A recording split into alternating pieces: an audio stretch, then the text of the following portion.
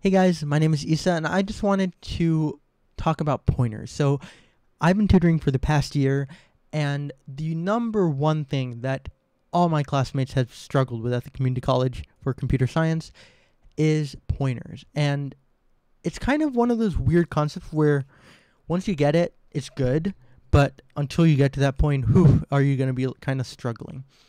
And I want to I want to kind of alleviate that. So, let's talk about pointers. So, I'm I'm going to br- very briefly talk about memory.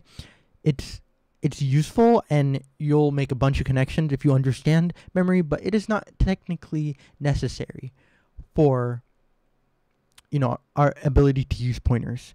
So if we draw a little diagram, so this is our memory. Now memory is just like running programs, they take up system memory. This is like short-term storage that goes away when you turn off the computer. So this is also known as RAM. You might have seen that on spec sheets for laptops and computers. Don't need to worry too much about how it works. It is very fascinating, and I will en- encourage you to go down that rabbit hole sometime in the future on YouTube.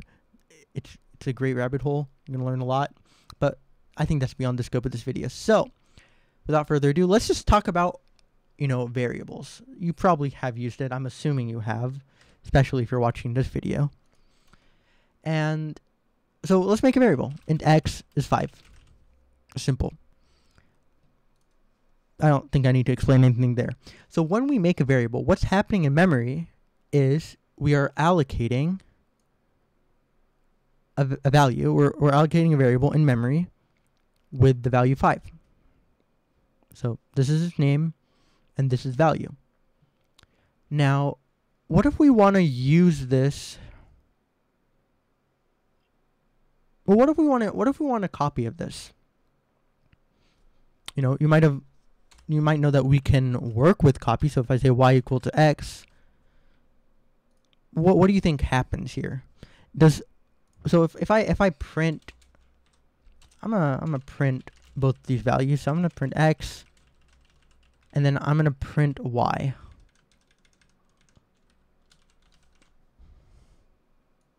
So on paper, they look like they're the same like y is x and x is y, right? So we could just say both x and y are 5. But that's not actually what's happening under the hood. And to prove it to you, that's kind of where we get into pointers. So pointers are just numbers. So if we, so what's actually happening is that we have this new variable called y, which also has the same value 5. These are not the same variable. These are two separate variables, as you see by their um, declaration, we're, we're declaring declaring a new variable. So that's what this is doing. So it's allocating two new variables in memory, but they happen to have the same value. If we use the reference operator, so this ampersand, this is called the reference operator. So I'm going to duplicate these lines. And on the bottom one, I'm going to put the address, the reference. So now it's going to print some really long numbers. So this is the address of these variables. Notice how they are not exactly the same. All the way up to here, they're the same, but then this last digit changes. And that refers to this, to the memory.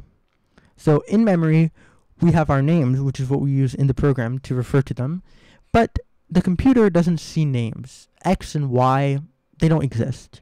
What exists are numbers, and these are the numbers that it's referring to. So when we have a pointer, we are just capturing this number and using it. So what I can do, and this is how you make a pointer. So the way you make a pointer is by saying int x, or sorry, we're not going to use x. We're going to say int star. Star makes the pointer. So int, so you could have a char char pointer too, but we're going to use ints for now. You can have any data type be a pointer, by the way, even programmer defined ones, so like classes. But that's getting ahead of ourselves. So we're going to say p underscore x. So p for pointer underscore and then x, the name of the, the variable we're making a pointer to. So here's our memory. It's this. So we could put this in directly, but that's kind of a janky solution. I don't even think it's going to work. Is it going to work? Yeah, no, it's not even going to work. Never mind. You can't do that. So Uh, what do we do if we want to get this? Well, you did notice that ampersand x is what gave us this, this address. So we can just take this ampersand x and put it in here. So now we have a variable. So if I count this variable, so count, and I'm just going to copy it because I'm kind of getting lazy of typing this out all the time. And I'm going to change this this to p underscore x. So notice these are exactly the same now. Ignore this. This is the y variable. So what we've ended up doing, and I wish I didn't delete that, but that's fine. So we have our x, our x which has the value 5 in here. We have our y, but we don't care about that, so forget this for a second. And now we have another entity in our code that points to this exact same variable. So any changes we make, for example, to x, so if we if we change x, so like I'm to comment this out so we don't need to worry about that. And if we make a change to x, we can say, we can say, uh, I don't know, x plus 1, right? So x is equal to x plus 1. I'm to get rid of this. And then I print x again. Becomes 6. No big deal, right? Yeah, nothing. Now, if we want to change p of x, we can we can do that too. We can say dereference p of x because remember p of x is just the address, just this address. If we use the star in front of it, we get the value at that address. So in this case, it would be 6 because we just added it up here. So if I say dereference p of x equal to dereference p of x plus 1, and then we, you know, do a count.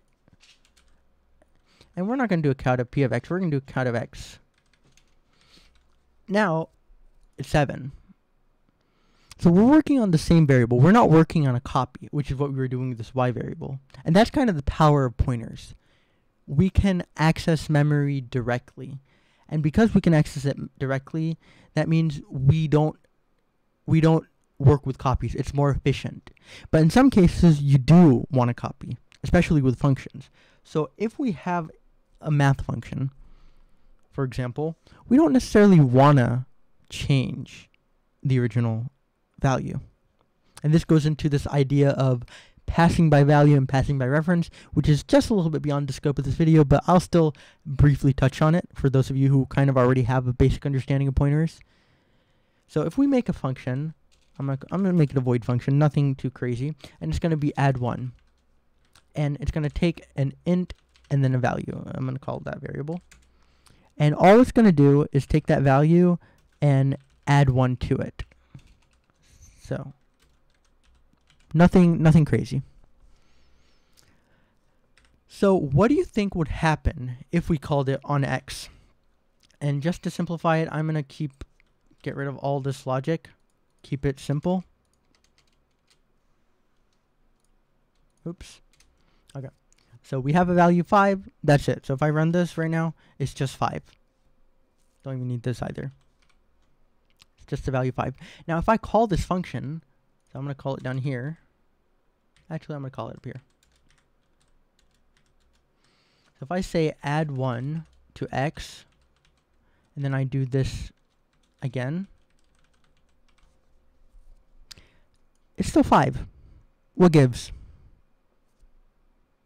Well, what gives is that we we made a copy of x. So if we have our piece of memory again, drawing a memory, so we made this val this variable x, which has 5. So here's x. When we made this function, we made a copy, just like this y. This is exactly what happened. So we, we made a new one called value. And it also has the value 5. So inside this function, we added 1 to it.